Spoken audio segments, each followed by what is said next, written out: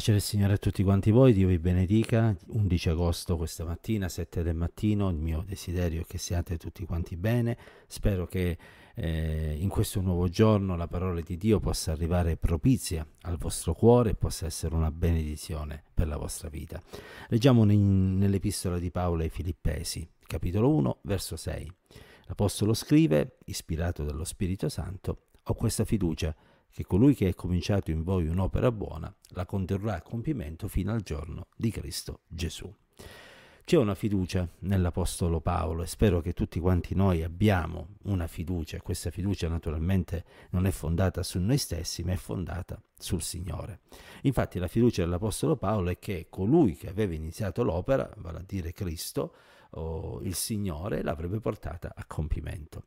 E noi ancora oggi confidiamo nella grazia, nella potenza e nell'aiuto che viene da parte del Signore mentre nel mondo pagano che ci circonda c'è sempre più spazio per le leadership umane, tanti confidano nelle capacità dell'uno o dell'altro, mentre in un mondo religioso, anche quello cristiano che è sulla via del decadimento, si punta anche lì sulle abilità di questo o di quel predicatore, di questo o di quel guaritore o evangelista o altro, la vera Chiesa del Signore continua ad avere la sua fiducia in Cristo Gesù perché sappiamo che lui è l'unico che può iniziare un'opera e lui è l'unico che la può portare a compimento. Senza di lui non ci sarebbe l'inizio dell'opera e senza di lui non ci potrebbe essere un compimento. Ecco perché l'Apostolo Paolo ha fiducia ed ecco perché eh, noi riusciamo ad avere fiducia fino a quando i nostri sguardi sono rivolti sul Signore, colui che ha iniziato un'opera buona. L'opera che il Signore inizia quando noi doniamo il nostro cuore a Lui, ci pentiamo, ci ravvediamo dai nostri peccati, è certamente un'opera buona.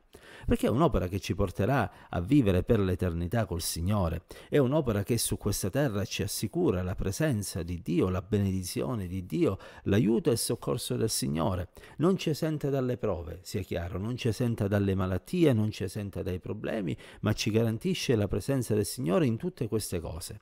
E quanto è preziosa quella presenza. Mentre chi non ha Cristo cade nella disperazione, in un dolore profondo, chi ha il Signore continua a rimanere fiducioso, perché sa in chi ha creduto e sa che tutto quello che accade coopera per il bene della sua vita in vista della salvezza, perché questo poi è lo scopo della fede, la salvezza dell'anima. Colui che ha iniziato un'opera buona. E io spero che in te l'opera buona sia iniziata e che non sia iniziata perché hai cominciato a seguire una nuova denominazione religiosa o qualche bravo predicatore che col suo parlare ti delizia, eh, magari eh, ti eh, rasserena. Io spero che in te sia iniziata l'opera della salvezza. E se non è iniziata stamattina, credo che sia il giorno propizio affinché questo accada. Non devi fare molto, devi realizzare che dinanzi a Dio sei un peccatore o una peccatrice e che hai bisogno del sangue di Gesù Cristo come mezzo per il lavacro, per la purificazione della tua anima. Non pensare che ci siano altri modi per poter vedere i propri peccati cancellati. Non c'è un uomo, non c'è una religione, non c'è nessuno all'infuori di Cristo che possa garantirti eh, la purezza dell'anima tua, le vesti imbiancate, perché solo il sangue di Gesù. Solo il sangue di Gesù ha questo potere. Non c'è nessun altro nome, disse l'Apostolo Pietro, e lo leggiamo nel libro degli Atti, che sia stato dato mediante il quale noi possiamo essere salvati. E dopo aver realizzato questo, invocato il perdono dei peccati, eh, ravvediti, comincia a camminare nelle vie della santificazione, leggi ogni giorno la parola, permetti alla parola di modellare la tua vita, lasciati cambiare, trasformare, plasmare da questa benedetta parola. Frequenta eh, coloro che hanno realizzato la tua stessa esperienza e con loro condividi momenti di comunione col Signore anche fraterna e permetti ancora eh, che tu possa essere usato da Dio per poter raggiungere anche altri. Così l'opera che è iniziata in te inizierà ancora in altre persone. Ed è un'opera, questa che il Signore ha iniziato, che vuole portare a compimento. In altre parole, Dio non lascia a metà le cose. Egli vuole che noi possiamo raggiungere, come spesso diciamo in queste meditazioni mattutine, la statura di Cristo Gesù.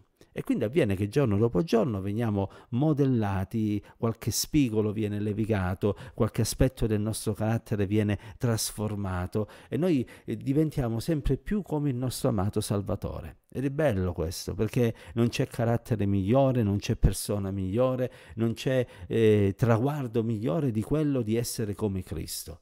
E questo è qualcosa che si completerà naturalmente quando poi saremo nella presenza di Dio, quando il giorno del Signore si manifesterà, perché allora non avremo più un corpo di carne, ma avremo un corpo glorioso, perché se saremo viventi saremo trasformati in un batter d'occhio, se magari avremo già lasciato questa terra, risusciteremo con questo nuovo corpo che il Signore ci darà e contempleremo Dio faccia a faccia. Ho questa fiducia, diceva l'Apostolo Paolo, che colui che ha iniziato un'opera buona in voi la porterà a compimento fino al giorno di Cristo Gesù. Dio ci aiuti ad avere anche noi questa fiducia e a camminare in modo tale da essere graditi a Dio. Pace del Signore.